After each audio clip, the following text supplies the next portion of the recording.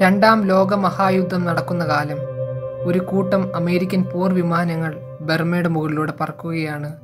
പെട്ടെന്ന് ജപ്പാന്റെ പോർ വിമാനമായ കെ ഐ ഫോർട്ടി ടു എന്ന ഫൈറ്റർ വിമാനം അമേരിക്കൻ യുദ്ധവിമാനമായ ബി ട്വന്റി ഫോർ എന്ന ബോംബർ വിമാനത്തിന് നേരെ കനത്ത ആക്രമണം തുടങ്ങി.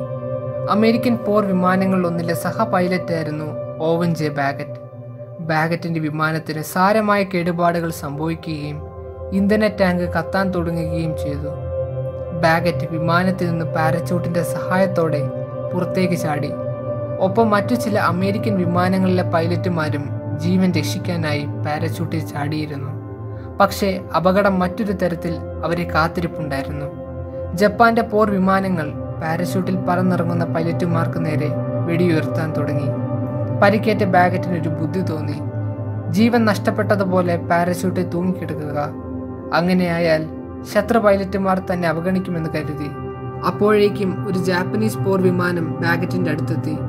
ബാഗറ്റ് തന്റെ കയ്യിലുണ്ടായിരുന്ന point four five calibre M one nine double one എന്ന പിസ്റ്റൽ ഉപയോഗിച്ച് ശത്രു വിമാനത്തിന് നേരെ പലതവണ വെടിവെച്ചു. വിമാനം നിയന്ത്രണം വിട്ട് നിലത്തേക്ക് വീഴുന്നതായി ബാഗറ്റ് കണ്ടു. നാലായിരം അടി ഉയരത്തിൽ വെച്ചായിരുന്നു ഇതെല്ലാം സംഭവിച്ചത്. പിസ്റ്റൽ ഉപയോഗിച്ച് വിമാനം വെടിവെച്ച ഒരേ ഒരു വ്യക്തി എന്ന നിലയിൽ ബാഗറ്റ് പിന്നീട് പ്രശസ്തി നേടി. പക്ഷെ ജാപ്പനീസ് യുദ്ധകാലത്ത് ജപ്പാന്റെ ഒരു യുദ്ധവിമാനം പോലും നഷ്ടപ്പെട്ടതായി രേഖകളില്ല. എന്നാൽ സാധ്യതയനുസരിച്ച് പരിക്കേറ്റ പൈലറ്റ് വിമാനവുമായി തിരിച്ച് തന്റെ എയർഫീൽഡിലേക്ക് പോയേക്കാം എന്നാണ് നിഗമനം. പാരച്യൂട്ട് താഴെ എത്തിയെങ്കിലും ബാഗറ്റ് ജാപ്പനീസ് സേനയുടെ പിടിയിലകപ്പെട്ടു. യുദ്ധത്തിന്റെ ബാക്കി കാലം അദ്ദേഹം ജാപ്പനീസ് തടവുകാരനായി തുടർന്നു.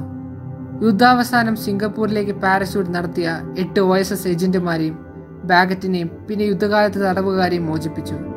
പിന്നീട് അദ്ദേഹത്തെ മിഷൽ എയർഫോഴ്സ് ബേസിലേക്ക് നിയോഗിച്ചു.